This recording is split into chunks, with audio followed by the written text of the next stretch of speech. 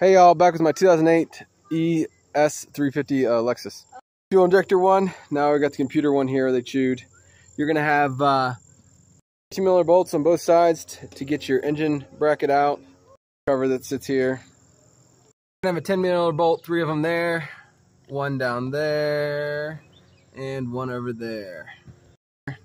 There, down there my brown and my black with the white stripe wire. So I'm gonna strip those back and fix them up like I did the other wires.